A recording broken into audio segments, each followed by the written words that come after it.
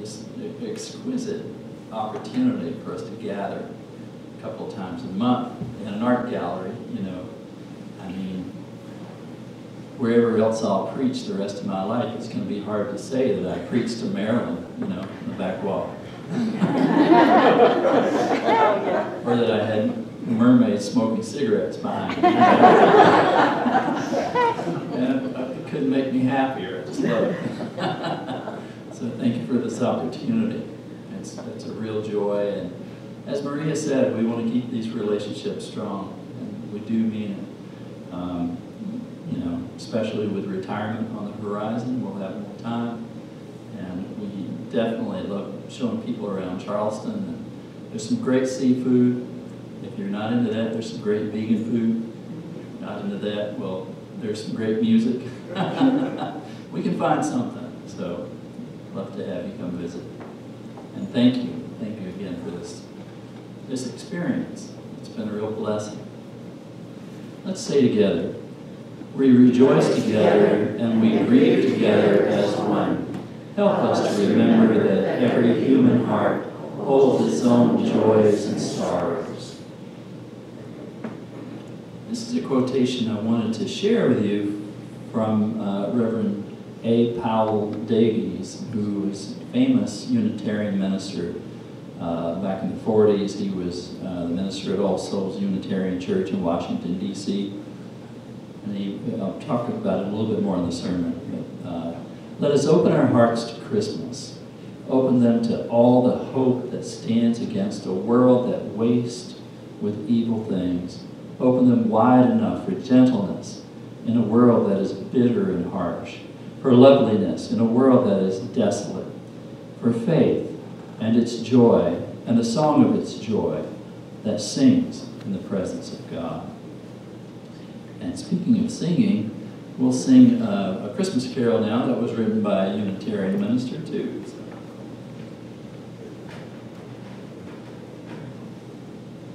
We have four verses. We'll see how it goes. If we uh, need to bail, we can bail. Thank you.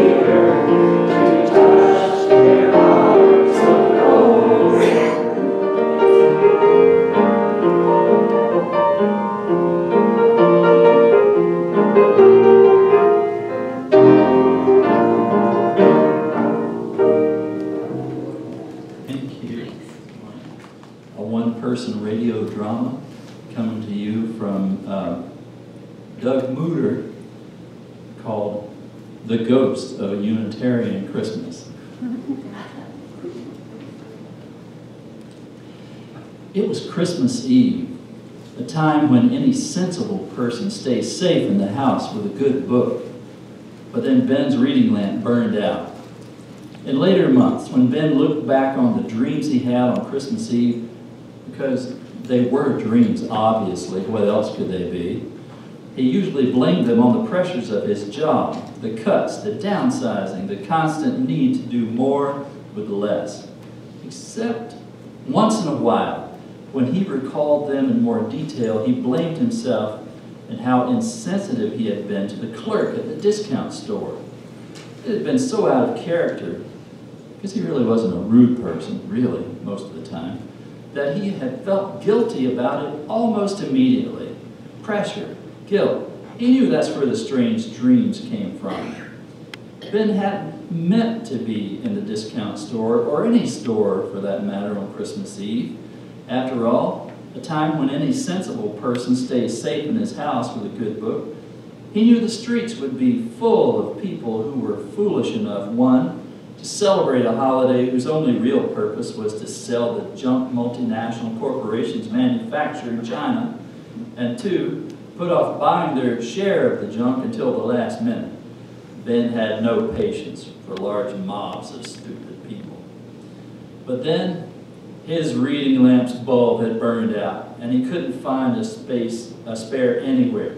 So there he was, parked on the grass at the extreme edge of a lot, then sonically assaulted by Jingle Bell Rock as he entered the Too Bright store, then jostled by the panicked shoppers looking for whatever can't miss toys the store had sold out of two weeks ago. Bulbs, good, sensible, energy efficient bulbs, were hard to find. Then he waited in an endless checkout line between a woman, behind a woman whose two children couldn't stop nagging for more and better presents. And then just when he thought the whole ordeal was over, the clerk, obviously exhausted young woman with a fake smile on her face, had the gall to wish him a Merry Christmas. That was the last straw. Christmas, he snapped. Did I say I was a Christian? Don't make assumptions about my religion. Happy Hanukkah? She ventured. But Ben just glared at her. Glad Yule? Something or other Kwanzaa? Ben made an inarticulate, dismissive noise that came out sounding something like, Bah! Humbug. Then he went on the attack. Is there a law that says I have to celebrate something? Can't I just enjoy life? Why can't all you people just leave me alone? The fake smile stayed in place. Have a nice evening, she said weakly, probably knowing that she'd be fired if she responded in kind. Ben was starting to feel like a bully, but having come this far, he couldn't back down.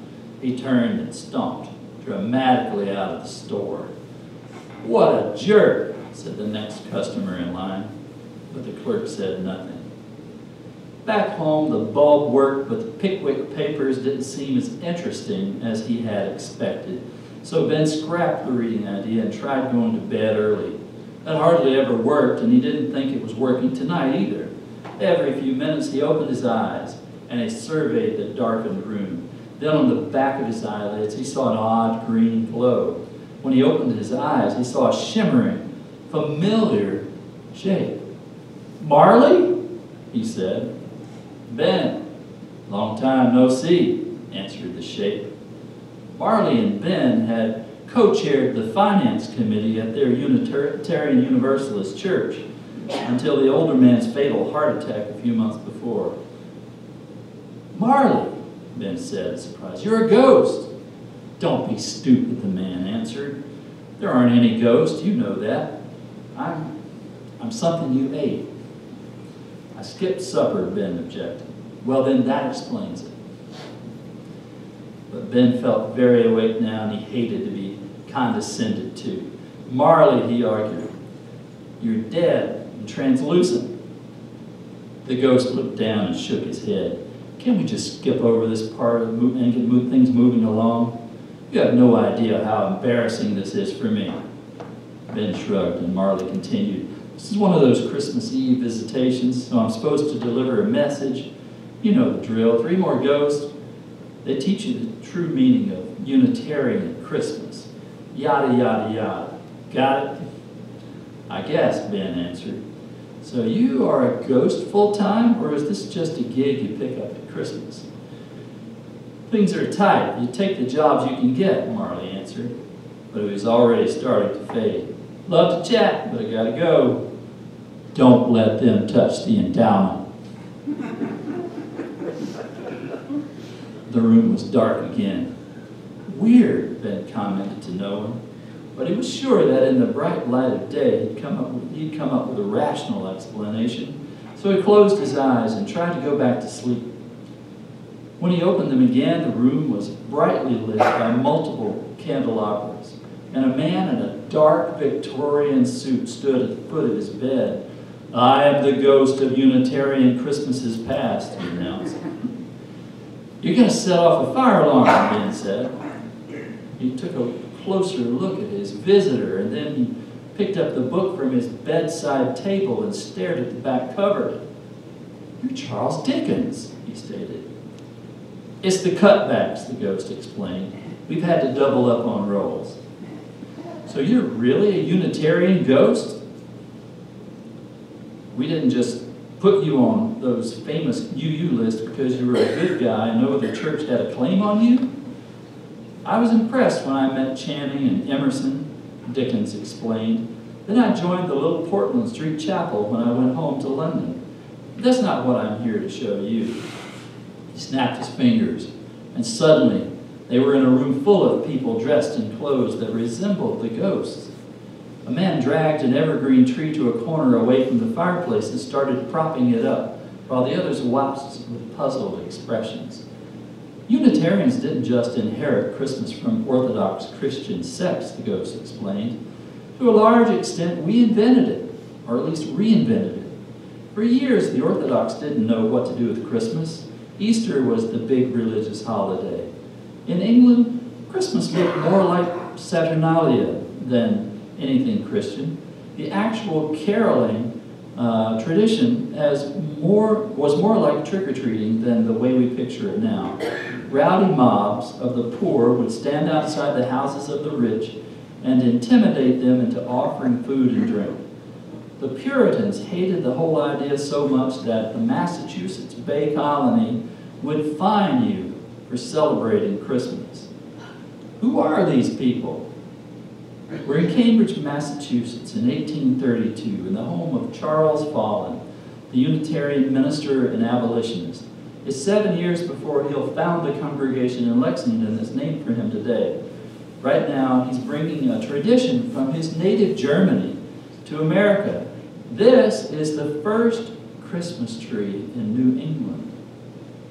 Dickens snapped his fingers again. The man was dripping, was dipping a steel pen into an inkwell. Edmund Sears, the ghost explained, another Unitarian minister, writing, It came upon a midnight clear in 1849. Snap. Now a woman was writing. Lydia Child, good friend of Margaret Fuller, riding over the river and through the woods. Snap. A man was pecking out a familiar melody on a piano. James Pierpont, Pierpont, music director of his brother's Unitarian church in Savannah. That's jingle bells, Ben said. Then he got a sinking feeling. We're not responsible for jingle bell rock, are we? not even a little bit.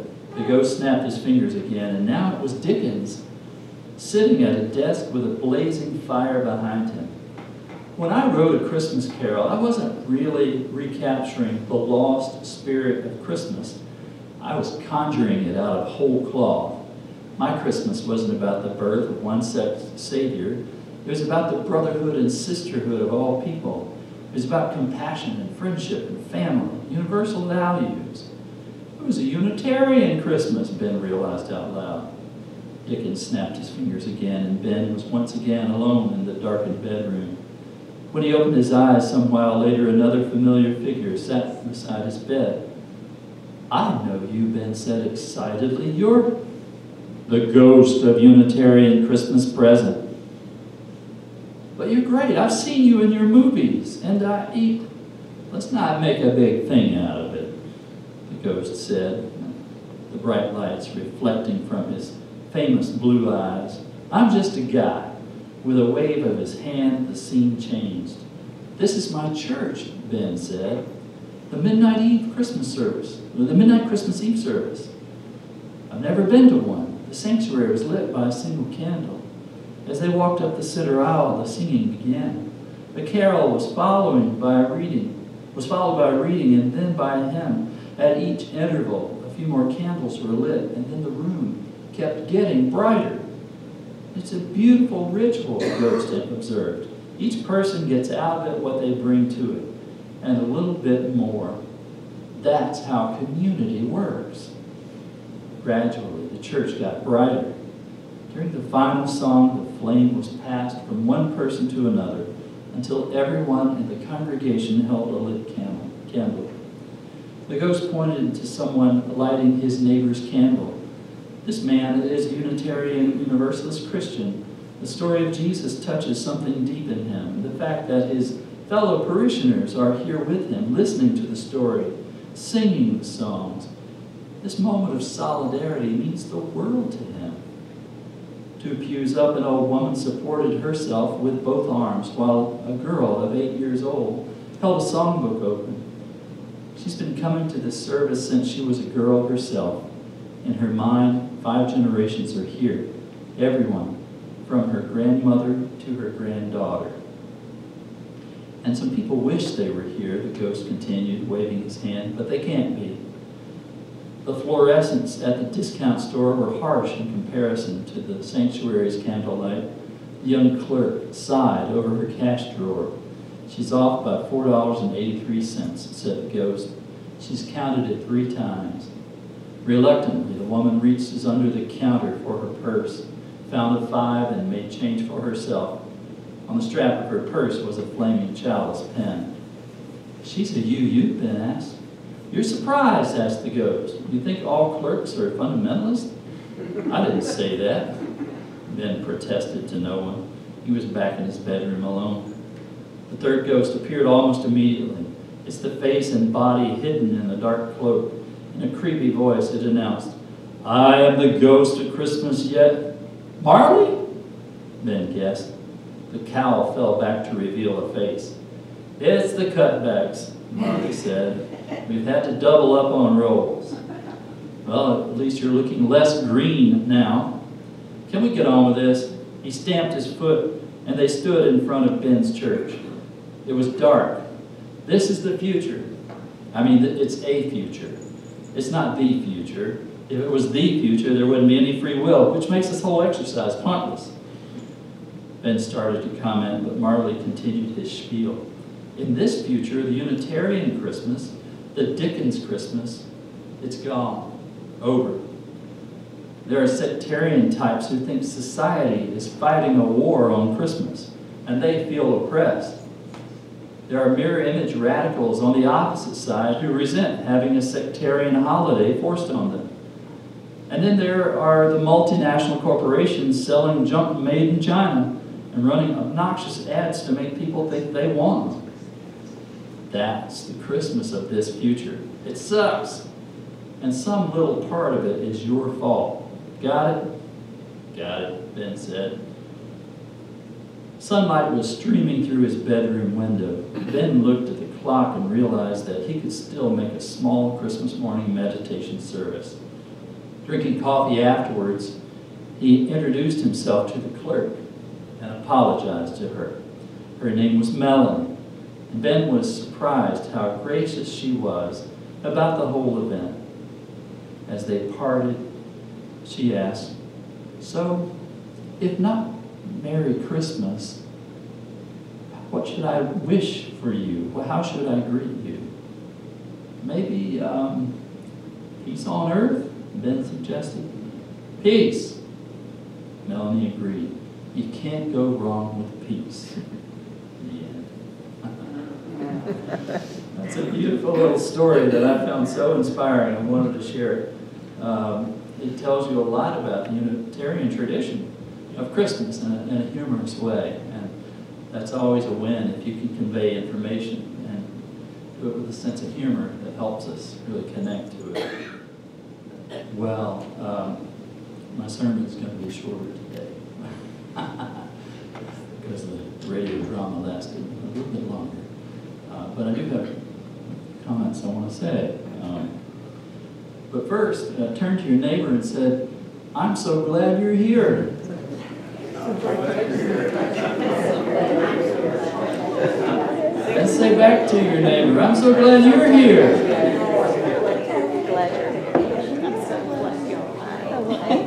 It's so good to remember that we are connected. You know, we're sitting and seating, facing forward, but think about yourselves in a, one great circle here. And uh, that's what we're in. It's one great circle of love. So good morning, Merry Christmas, and well, peace on earth. uh, I read the story of the ghost of Unitarian Christmas earlier uh, this week, and I knew I had to share it with you. What a funny story.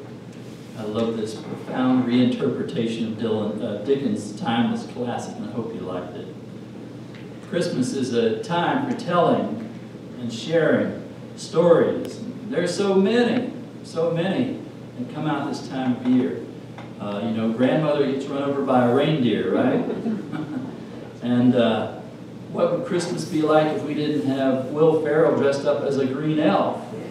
And what would Christmas be like if we didn't have Clark Griswold in National Lampoon's Christmas Vacation decorating like mad? And who could forget little Ralphie, who all he has ever wanted for Christmas is a Red Ryder BB gun. And all he's ever heard from his parents is, You'll shoot your eye out. Your older stories, like The Nutcrackers, beautiful ballet. There's uh, The Little Drummer Boy. So many beautiful Christmas stories from around the world. But all of these stories stem from the ancient and profound story about a child being born in a barn with shepherds and angels attending, and then being visited by wise men, astronomers, following a star to find the manger in order to offer gifts befitting the king gold, frankincense, and myrrh. The holiday season is rich with layers and layers of meaning and cultural significance. Sometimes we have to revert to short stories to glimpse its meaning, and I'd like to do that just briefly now. I want to visit, as I mentioned in the newsletter, the short story by O. Henry called The Gift of the Magi. O. Henry uh, is a pseudonym, and his real name is William Sidney Porter. And what an interesting short life he had.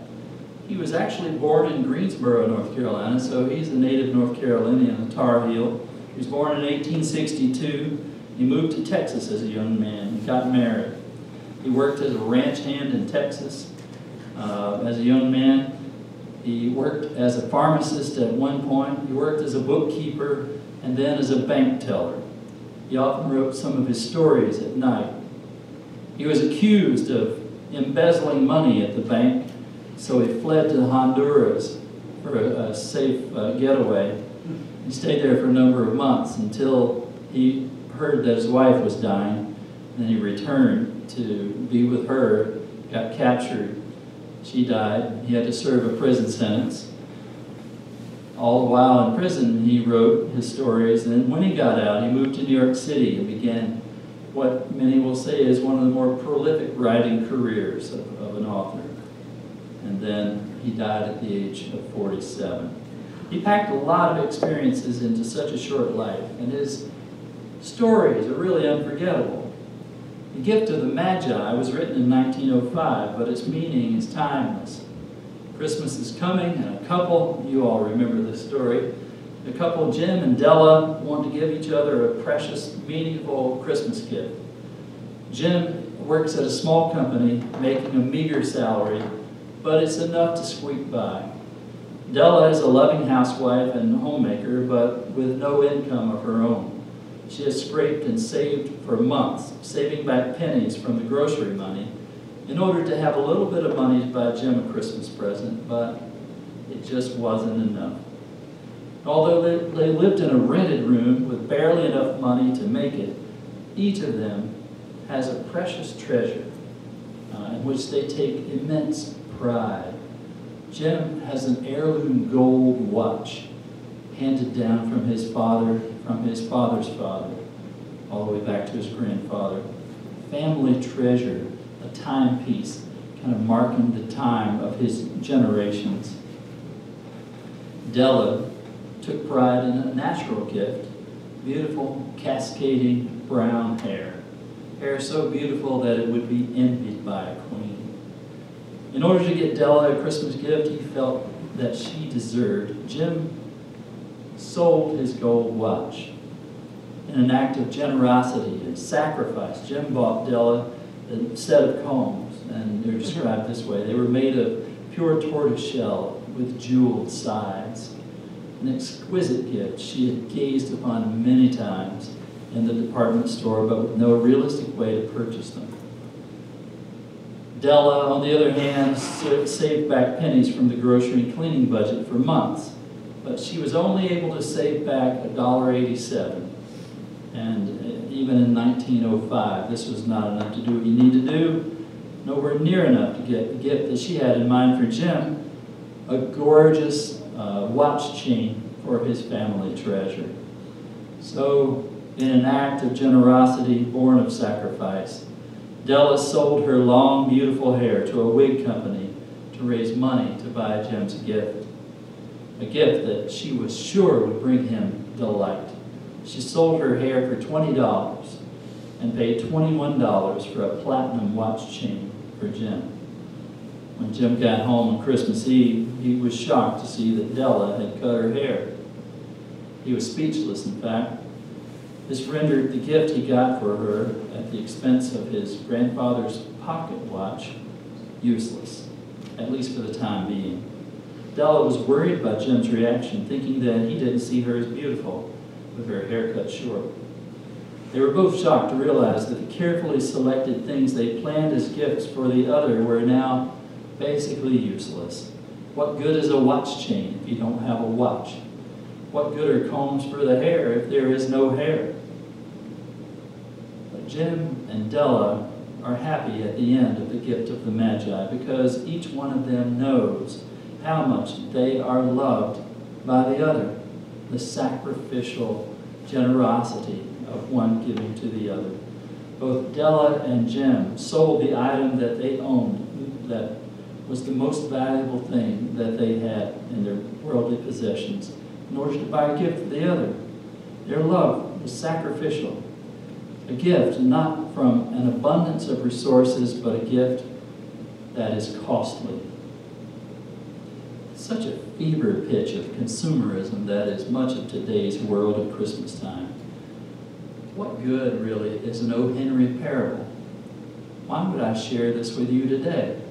Why do I see redeeming value in it? Because I think it cuts to the heart of the meaning of this season.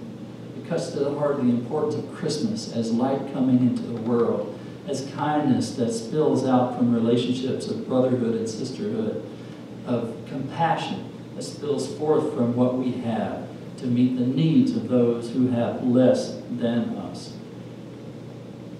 The example of Jim and Della in their sacrificial giving to each other is an example for us in our relationships with each other and with our communities. In stark contrast to the haze of holiday cheer we now experience, the story reminds us that true love, true kindness, true gift giving is costly and born of sacrifice. The love of a couple, whether in marriage or long term partnership, will know many episodes of sacrificial love. The love of a parent for a child is based completely on sacrificial giving, at least for the first several years. The care and support we give one another as brothers and sisters in community is born of sacrifice. Think of the courage of our vets serving the trenches in World War II, defending us. Arthur Powell Davies is another uh, famous Unitarian minister. His uh, dates are 1902 to 1957. He's a famous orator and influential minister at uh, the Unitarian Church Fellowship in Washington, D.C., All Souls. In 1944, he gave a classic Christmas sermon entitled Christmas Always Begins at Midnight. Davies gave this wartime sermon in Washington, D.C., as our country was in its fifth year of a terrifying war against Nazi Germany. In his sermon, he speaks about some of the most important gifts we can give to one another in challenging times the gift of encouragement and spiritual resilience. He says, Whenever we feel pessimistic concerning the future of humanity upon this troubled planet, we can always remember this that with all his fears and failings, man has yet somehow managed to put up the brightest of his festivals in the darkest part of the year. Not at midsummer, but at midwinter. He celebrates most universally his hope and his joy. So let us open our hearts to Christmas. Open them to all the hope that stands against the world that wastes with evil things Open them wide enough for gentleness in a world that is bitter and harsh, for loveliness in a world that is desolate, for faith and its joy and the song of its joy that sings out the presence of God. This morning, I invite you as I invite myself. I encourage us to open our hearts to Christmas. This vision of light coming to darkness. This vision of kindness overcoming unkindness, of compassion reaching out to the needy, of sacrificial love in our relationships for the betterment of our communities, our families, and the world. And as I wrap up my time with you this morning, uh, I have to say what gifts you have given to me to us. I'd be remiss if I didn't take a moment to convey my deep gratitude to each one of you for the extraordinary gift of your partnership in this work uh, and having me as your minister. I came to you as one who was rather burned out by my experience serving in churches. And I had little hope that I would return to such an experience as this. But little by little, chalice lighting by chalice lighting, conversations, encouragements, board meetings and concerts, mutual support, kindness, you have loved me back into the circle of divine love, and I'm so grateful for that. Um, reminds me of the picture of the Unitarian Universalist chalice with the two concentric circles. Remember that? Um, it's often portrayed by the poem Outwitted by Edwin Markham, who was born in 1852. I quote a section of the poem. He drew a circle that shut me out, heretic rebel, a thing to flout. But love and I had the wit to win. We drew a circle that took him in. Thank you for taking me in. Love and you drew a circle that invited Maria and I to join you in the circle. And uh, we will continue to be forever grateful. You brought in a weary soul from the existential cold. hugged me and surrounded me with mermaids smoking cigarettes. what could be better than that? Marilyn, always smiling at my jokes. I mean, what could be better than that? Your beautiful faces, I look out and have the privilege of seeing every time we're together. Of your challenges, your comments, your support, your critiques, your ideas. Um, your invitations. They mean the world and will continue. So thank you.